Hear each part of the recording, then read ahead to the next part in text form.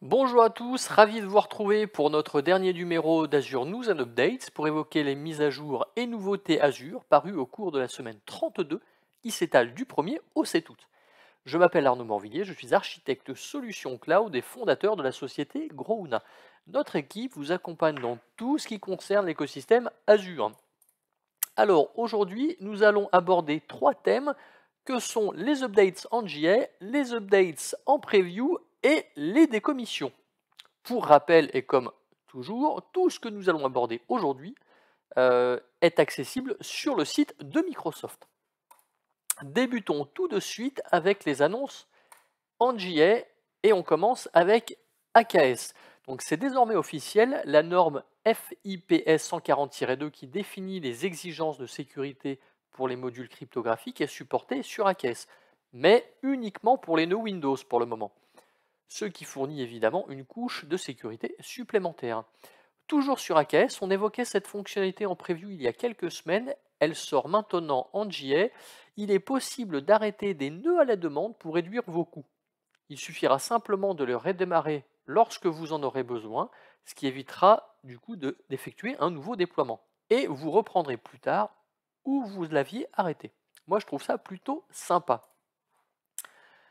Euh, du nouveau au niveau des audit logs pour les modes de sauvegarde en continu, dans lesquels vous trouverez dorénavant le détail des actions liées aux actions de restauration, euh, comme euh, le compte source ou le compte destination Cosmos DB, mais aussi la progression de la restauration et bien sûr qui est à l'origine de la restauration. Donc toutes ces informations sont consultables directement dans ActivityLog. On continue sur la partie FinOps. Euh, depuis le 1er août 2022, donc ça fait euh, une petite semaine, euh, Microsoft baisse le coût de certains de ses services dans la région US West 3. Alors, nous n'avons pas de détails quant à la réduction et quels services sont impactés, mais ça reste quand même une bonne nouvelle. Autre excellente nouvelle, si vous êtes consommateur des IPv6, Sachez que euh, les IPv6 publics et tous les préfixes IPv6 publics sont gratuits depuis le 31 juillet 2022. Encore une excellente nouvelle pour les portefeuilles. Euh, vous connaissez évidemment le service Azure Application Insight qui fait partie de Azure Monitor et qui permet notamment de collecter euh, des logs de télémétrie. Eh bien, sachez qu'il débarque dans deux nouvelles régions, à savoir China North 3 et China East 3. Comme vous le savez également, les logs de Azure Application Insight sont stockés dans Log Analytics. Et eh bien lui aussi du coup débarque euh, sur les deux régions précédemment citées, à savoir China North 3 et China East 3. Comme ça, il n'y aura pas de jaloux. Pour le service Azure Monitor qui continue d'évoluer euh, grâce au machine learning, il y a plusieurs mois apparaissait au niveau de la configuration des alertes le mode dynamique euh, qui concerne en fait la détection des seuils dynamiques euh, et qui se base sur de l'apprentissage renforcé. L'équipe produit continue dans cette voie en améliorant les détections afin de repérer plus facilement les interruptions de service ou des comportements anormaux. Autre point, pour ceux qui connaissent ou utilisent Guest Configuration, sachez que le service change de nom et s'appelle maintenant Enforcement Mode of Machine Configuration. Bon, ok, c'est un, nom un peu barbare, mais bon. Euh, son, fonctionnement, reste le même, à savoir auditer et configurer les paramètres de votre système d'exploitation pour vos VM Azure ou euh, les VM qui s'exécutent sur Azure Arc. Et tout cela s'effectue via les extensions DVM. Alors, Microsoft a obtenu une nouvelle certification de l'agence ICSA Labs pour le niveau premium de Azure Firewall. Alors, commençons par expliquer ce qu'est ICSA Labs.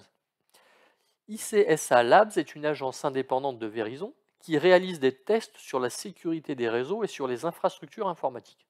Jusque-là, vous me suivez. Donc Microsoft a donc obtenu la dernière certification d'intrusion prevention system, IPS, de l'agence, ce qui démontre sa capacité à protéger ses clients euh, face à ce type d'attaque.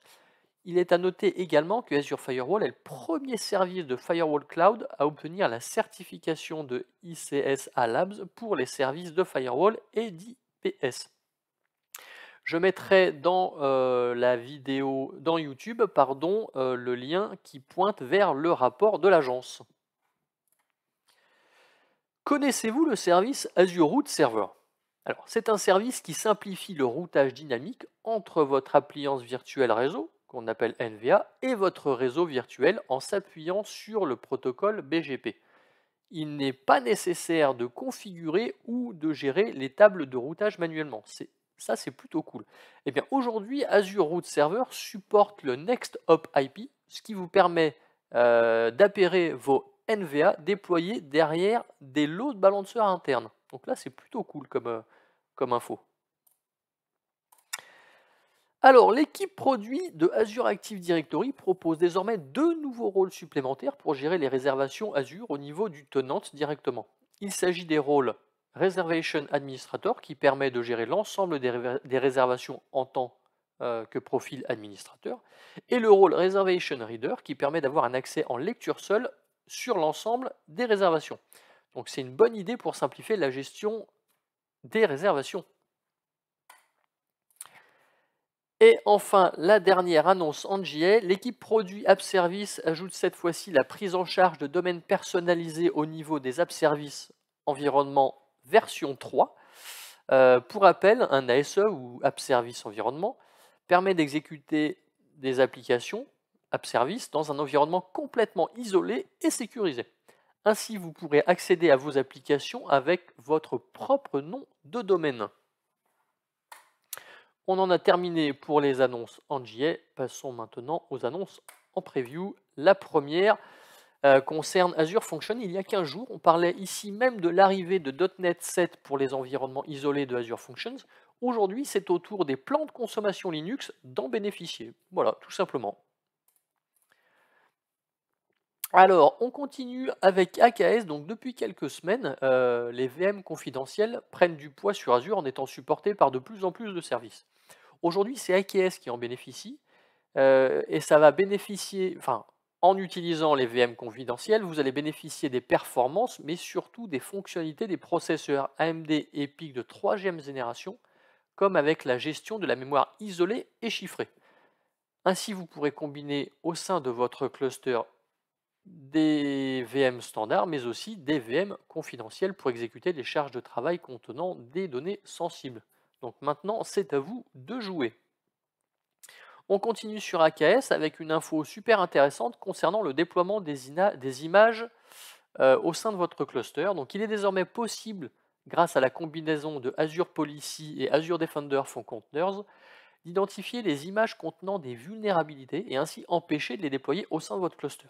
Donc là, c'est plutôt le RSSI qui va être content de cette information.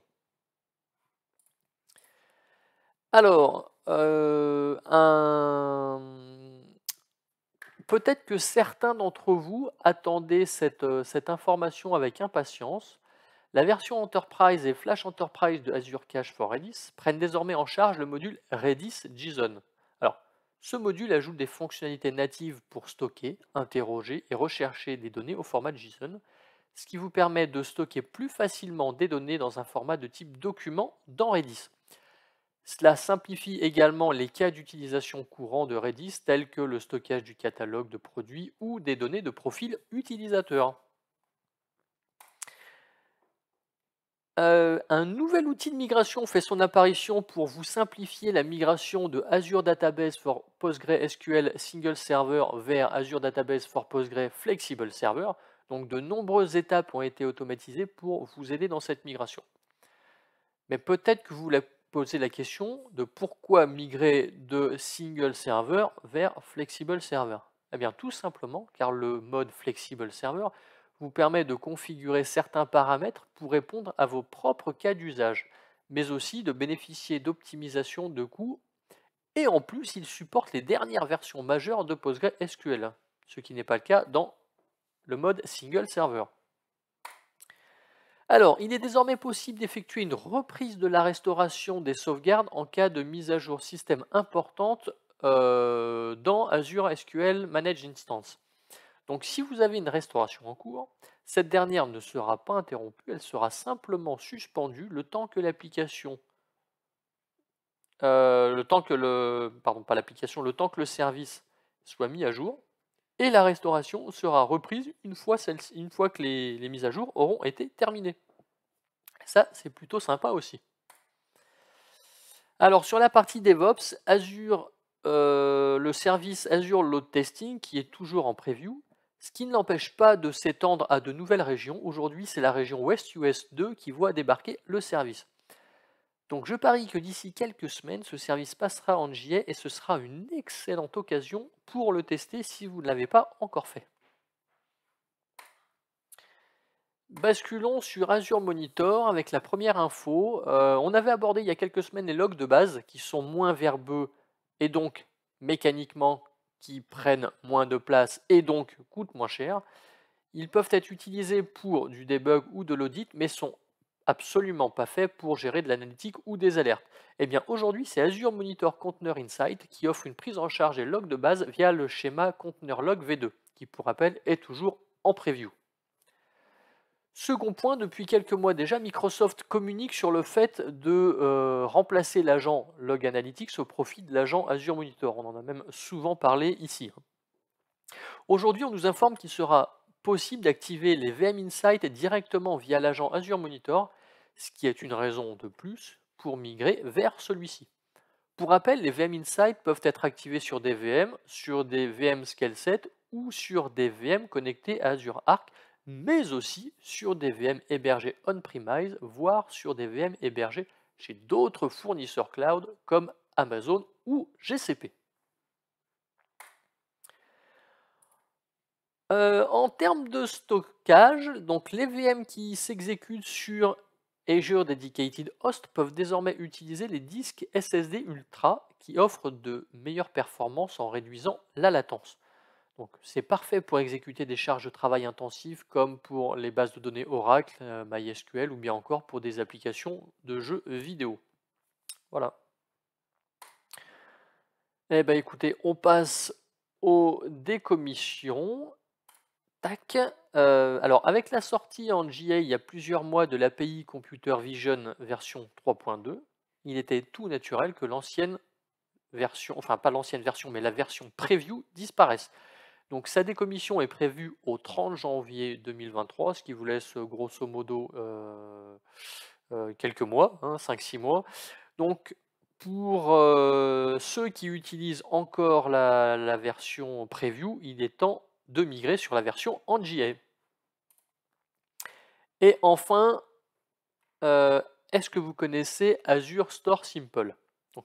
Pour faire simple, c'est une solution SAN fournie par Microsoft. Eh bien, sachez que les séries 8000 et 1200 ne seront plus supportées à partir du 31 décembre 2022. Hein. Donc, on parle d'ici des séries Store Simple 8000 qui englobent les versions 8100, 8600, 8010, 8020, mais aussi de la série Store Simple 1200, du service Store Simple Data Manager et de Store Simple Snapshot Manager. Donc, si vous utilisez encore ce service, Microsoft vous encourage à migrer sur Azure File Sync le plus rapidement possible. Donc je mettrai en commentaire de la vidéo deux liens vous permettant euh, de migrer vers Azure File Sync depuis Store Simple 8000 et Store Simple 1200. Voilà, c'est terminé pour aujourd'hui. J'espère que euh, le contenu était sympa. Donc n'hésitez pas à vous abonner à notre chaîne YouTube ou à notre page LinkedIn pour nous, encourager. Pardon. En attendant de vous retrouver probablement la semaine prochaine euh, pour une prochaine vidéo, nous vous souhaitons une excellente journée. Euh, prenez soin de vous. N'hésitez pas à vous hydrater pendant la canicule et à mettre de la crème solaire. Je vous dis à très vite.